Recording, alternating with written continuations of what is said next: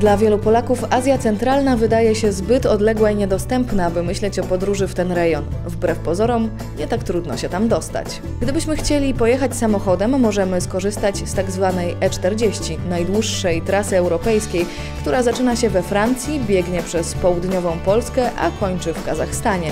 Trasa liczy około 8000 km, więc podróż samochodem może być dość długa i męcząca. Najszybciej i najprościej dotrzeć do stolic państw Azji Centralnej samolotem, niestety z Polski, nie ma połączeń bezpośrednich. Termin Azja Centralna obejmuje dzisiejszy Kazachstan, Kirgistan, Uzbekistan, Turkmenistan i Tadżykistan.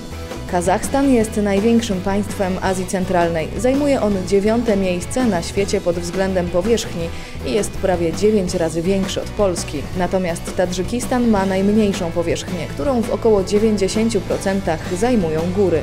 Naturalne granice regionu wyznaczają Morze Kaspijskie, góry Altaj, Tien Shan, Pamir i Kopet Dag.